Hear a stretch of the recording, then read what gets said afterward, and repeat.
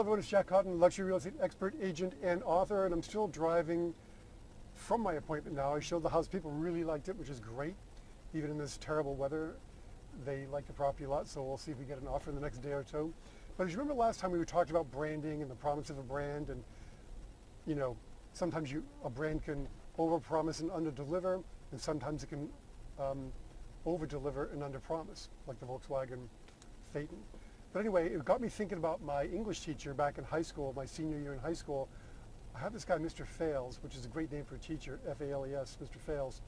He was my English teacher, and I actually wasn't good in any subject, but I was really not good at English. But there was something about the way he connected with his students in general, and me in particular, that really made him a great teacher. But one thing he taught us in the midst of you know, writing skills and composition skills and organizational skills was also presenting your writing product skills. He was preparing us for college when we'd be writing big term papers, and he had us write practice term papers.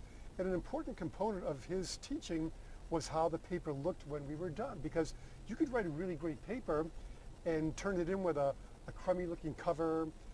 We had no word processing in those days, with like a handwritten title page or something like that, you know, with a, with a crummy typewriter, with, you know, a, an old ribbon back then. He talked about the importance of you know, treating your term paper with a certain amount of reverence and having a certain belief in your product and that it was presented properly, like with a black cover, with a typewritten cover page, with crisp white paper, no wrinkles, no smudges, no finger marks, and a clean, fresh ribbon in your typewriter, you could take a regular paper and it might get another half a grade higher than it would otherwise just because of the presentation. So this sort of piggybacks on what we talked about last time when we talked about branding and different cars and how the brands are portrayed. And think about your pre-listing presentation and how that's packaged. All my stuff that I do now, I think about Mr. Fales and Senior English, and I try to make all my presentations look as great as possible.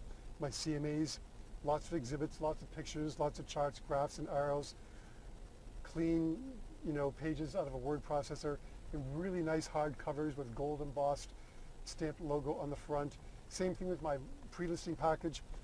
I print them with Shutterfly, shutterfly.com, so they look like a coffee table kind of a book. Presentation is everything, and even if the content is you know better somewhere else, presentation counts for a lot. So make sure that you're setting the bar high with your brand, and make sure you are meeting the promise of your brand when you make that promise. So we'll talk about maybe more about this next time. Send me your questions and examples of your, your branding and the promise you make with your branding. And one of these days I'm going to find a car that I really like. This is not it, I guarantee it. And um, until next time, oh, one more thing. Um, don't forget, if you have a luxury listing, send it to me. We'll promote it in this mailing. We've got thousands of people now who are subscribing every single week. We can do a referral between and among ourselves. And don't forget to check out luxuryrealestateacademy.com where I'm going to be announcing some web web-based luxury real estate training that you will really benefit from and profit from and excel from. So watch for that, luxuryagentacademy.com. So, a lot to cover. Make it a great week. Until next time, think about your brand.